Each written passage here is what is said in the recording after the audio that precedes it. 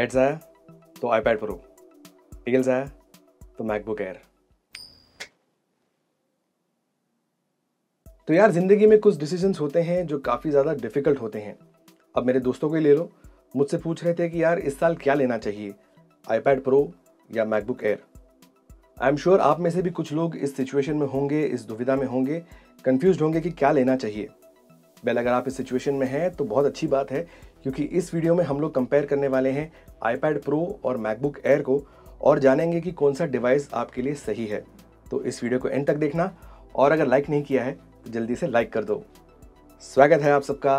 आई am डिस्टलियोस YouTube channel पे।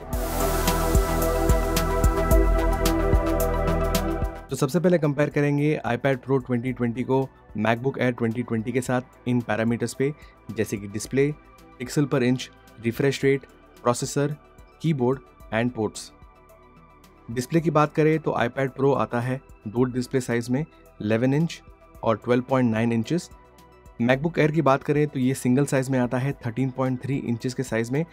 दोनों आईपैड प्रो और मैकबुक एयर रेटिना डिस्प्ले के साथ आपको मिलता है. अब बात करते हैं पिक्सल पर इंच की. आईपैड प्रो 2020 में आपको मिलता है 264 पिक्सल पर इंच और मैकबुक एयर में आपको मिलता है 227 पिक्सल पर इंच यहाँ पे आईपैड प्रो काफ़ी ज़्यादा अच्छा है, यानी कि इसका डिस्प्ले काफ़ी ज़्यादा अच्छा है मैकबुक एयर के कंपैरिजन में। अब बात करते हैं रिफ्रेश रेट के बारे में। रिफ्रेश रेट आईपैड प्रो में आपको मिलता है अप टू 120 ट्वेंटी हर्ट्स यानी कि जब आप मूवीज़ देख रहे हैं या गेम्स खेल रहे हैं या कोई वेबसाइट देख रहे हैं तो रिफ्रेश रेट काफ़ी फास्ट है, यानी कि आपको एक नेचुरल फ्लो मिलेगा जब आप मूवीज़ या गेम्स खेल रहे हैं। मैकबुक एयर का refresh rate up to 60 hertz है यकीन मानिए, ये बुरा नहीं है, लेकिन अगर आप यूज़ कर चुके हैं एक आईपैड प्रो पास्ट में तो मैकबुक एयर का 60 हर्ट्स का रिफ्रेश रेट आपको काफ़ी स्लो लग सकता है। अब बात करते हैं प्रोसेसर के बारे में। आईपैड प्रो में आपको मिलता है A twelve Z bionic chip और मैकबुक एयर में आपको मिलता है 1.1 पॉइंट का dual core Intel core i3 जो कि आप कॉन्फ़िगर कर सकते हैं अप टू कोर i7 और यही एक एडवांटेज है जब आप लेते हैं एक मैकबुक एयर या मैकबुक प्रो आप उसके कॉन्फ़िगरेशन को चेंज कर सकते हैं अपने रिक्वायरमेंट के हिसाब से। अब बात करते हैं कीबोर्ड के बारे में। iPad Pro 2020 में आपको मिलता है एक एडिशनल कीबोर्ड का सपोर्ट यहाँ पे आप खरीद सकते हैं एक मैजिक कीबोर्ड जिसमें एक ट्रैक पैड भी है, जिसकी मदद से आप अपने iPad Pro को और बेहतर तरीके से यूज़ कर सकते हैं। ध्यान में रखिएगा कि ये iPad Pro के साथ आपको मिलता नहीं है, आपको इसको सेपरेटली खरीदना पड़ेगा। और क्योंकि मैकबुक एयर एक लैपटॉप है, इसमें कीबोर्ड और ट्रैक पैड इनबिल्ट है यहाँ पे हमें एक नया कीबोर्ड देखने को मिलता है, नए सीजर मैकेनिज्म के साथ, और इसका जो ट्रैक पैड है, वो 20 परसेंट बड़ा है पिछले मॉडल के कंपैरिजन में। और अब बात करते हैं पोर्ट्स के बारे में। आईपैड प्रो में आपको मिलता है एक यू सी का पोर्ट और अगर आप लेते हैं मैजिक कीबोर्ड तो उसमें आपको एक एडिशनल यू सी पोर्ट मिलता है। मैकबुक एयर में आपको मिलता है दो Thunderbolt three U C ports जो आपको काफ़ी फ्लेक्सिबिलिटी देता है। इसके साथ साथ इसमें आपको देखने को मिलेगा एक हेडफोन जैक अगर आप प्रेफर करते हैं वायर्ड हेडफोन्स अब बात करते हैं कुछ की डिफरेंसेस के बारे में, जैसे कि कैमरा वाईफाई बायोमेट्रिक्स और स्टोरेज सबसे पहले बात करते हैं फ्रंट कैमरा के बारे में. आईपैड प्रो में आपको मिलता है 7 मेगापिक्सल का f 2.2 एपेचर का 1080p कैमरा जबकि मैकबुक एयर में आपको मिलता है एक फ्रंट कैमरा सिर्फ़ 720p का.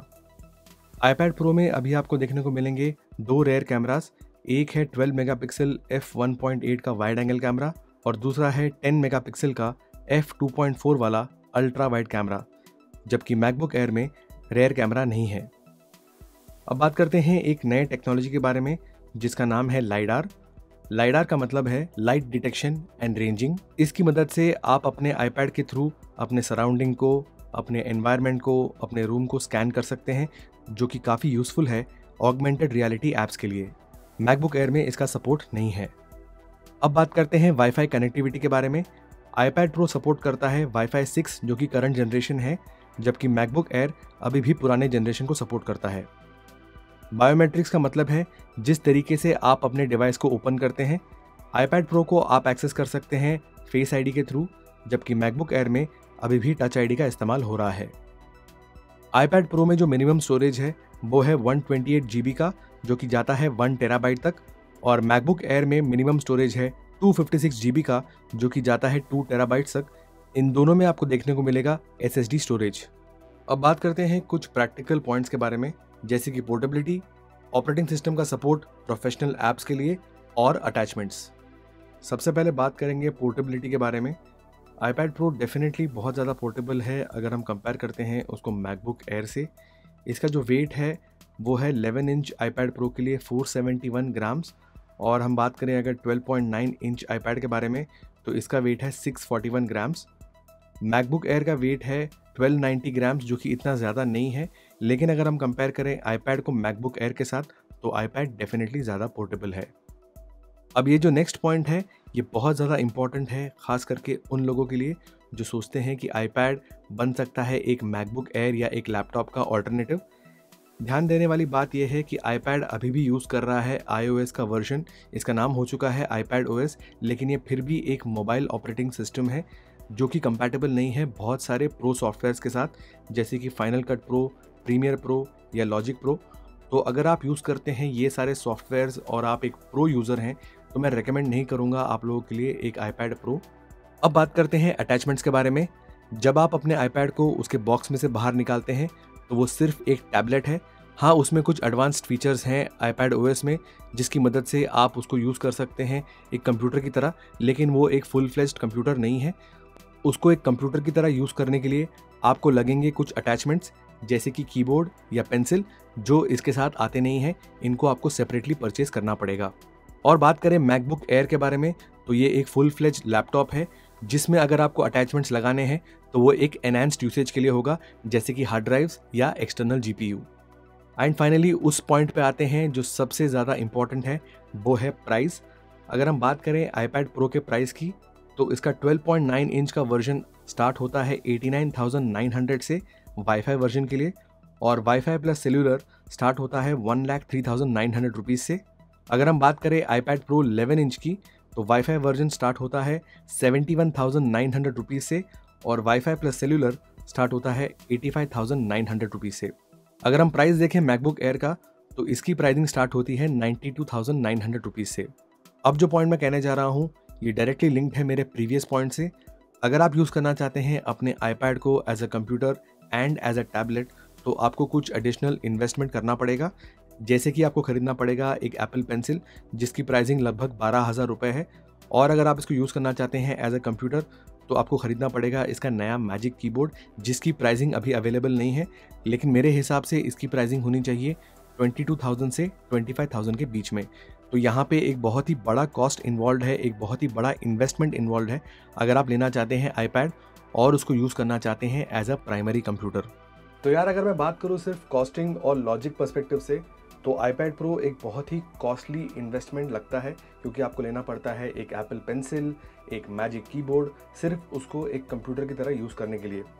और अगर मैं दूसरे एंगल से देखूँ, अगर आप मेरी तरह हैं जो वीडियो एडिटिंग करते हैं, या आप फोटोशॉप में काम करते हैं, या आप ऑडियो पे काम करते हैं, जैसे लॉजिक प्रो वगैरह सॉफ्टवेयर पे अगर आप काम करते हैं तो भी मैं रेकमेंड करूँगा एक मैकबुक एयर या एक मैकबुक प्रो बिकॉज़ जो ऑपरेटिंग सिस्टम है वो काफ़ी अच्छा है मैक का, और जितने भी प्रो सॉफ्टवेयर हैं उसका सपोर्ट आपको मिलता है एक मैक पे, ना कि एक आईपैड प्रो पे।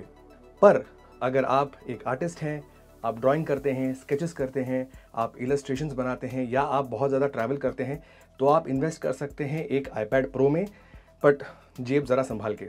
तो ये वीडियो कैसा लगा प्लीज़ बताना कमेंट सेक्शन में। अगर आपके पास कोई सजेशंस हैं, सुझाव हैं तो उसको आप मेरे साथ शेयर कर सकते हैं कमेंट बॉक्स में। अगर आपके पास कोई वीडियो आइडियाज़ हैं तो प्लीज़ उसको शेयर करिए मेरे साथ इस हैशटैग के साथ। इस वीडियो को लाइक करो, शेयर करो, चैनल को नहीं सब्सक्राइब किया तो या सब्सक्राइब करो और घंटी दबा दो। आज का वीडियो मैं यहीं पर ख़त्म करता हूँ। मैं आपसे मिलने आऊँगा अगले वीडियो में। तब तक के लिए स्वस्थ रहिए, मस्त रहिए और व्यस्त रहिए और घर से बाहर मत निकलना।